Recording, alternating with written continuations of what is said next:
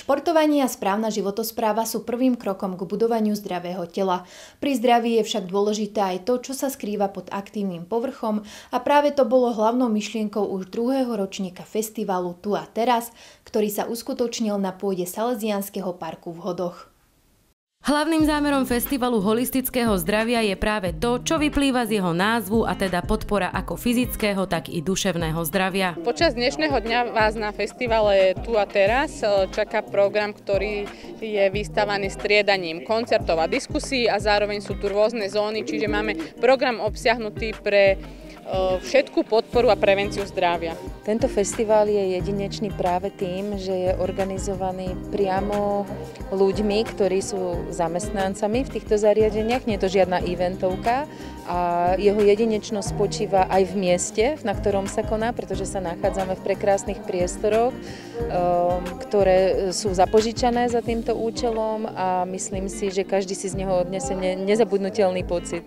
Čo sa týka hudobníkov, čo tak ovplyvnilo vašu voľbu?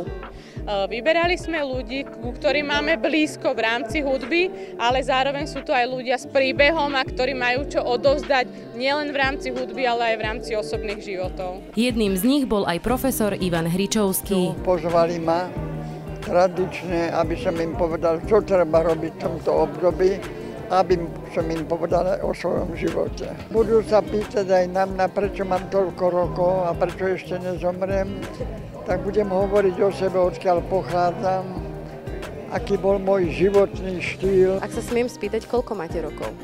91. Čo je vaše tajomstvo takéhoto vitálneho života? Mám dobrú ženu a dobrú rodinu. Celý areál parku bol rozdelený na rôzne zóny. Že vy tu pre deti poskytujete tvorivé dielne a čo všetko tu teda deti môžu robiť, čo tu môžu vytvárať? Deti si tu môžu vytvárať záložky, ktoré sme im už predvyrobili. E, máme tu rôzne zvieratka, kravaty, keďže sa blíži deň otcov, tak si môžu urobiť kravatu pre otecka. Aké rôzne materiály môžu použiť? E, materiály môžu použiť výkresy, tu máme farebné papiere, trblietky. Vidím, že už to aj práve teraz máte detičky, takže uh, idú sem, láka ich to tie farby? Áno, najviac ich lákajú tie trblietky. Máte teda pod palcom športovú zónu, čo všetko tu ľudia robia? Takže na našej športovej zóne uh, teraz ukazujeme, alebo teda predvádzame základné cvičenia, či už na jogu, alebo zdravý chrbát, a teraz kolegynka prišla, vlastne inštruktorka Nordic Walkingu, ktorý je veľmi rozšírený teraz v spoločnosti, takže teraz práve prebieha kurz, taká ukážka malá v prírode. V rámci relax zóny sa návštevníci mohli oboznámiť aj so zvukoterapiou. Máme tu rôzne nástroje, sú to vlastne radené aj ako hudobné nástroje, ale viac menej rezonančné takže vám vlastne aj pomôžu takto pri obnove buniek, dostanú vás do harmónie, sú krásne na relaxáciu, meditáciu. Takže návštevníci, ktorí sem prídu, napríklad si to môžu aj vyskúšať, že, že vyskúšate na nich nejakú terapiu? Samozrejme môžu. Môžu. Dáme im to vždy do ruky, aby aspoň videli, zažili, cítili tú vibráciu a keď je ticho, tak to vlastne aj počujú. Aj detičky si skúsili zahrať, pani si zahrala, takže môžu, jasné. Čo ste si už stihli obhliadnúť? Tieto stánky a boli sme na začiatku programu. Prečo ste sa rozhodli prísť? Lebo pozvali nás. Pozvali. Mhm. Takže poznáte tento festival aj z minulého roka? Nie. Prvýkrát som tu. Čo vás sem priviedlo druhý rok po sebe? Tak ja som tu s hodou, takže je to také super, že sa tu niečo takéto organizuje. Sa mi páči, že takéto akcie sú poriadané ako pre ľudí.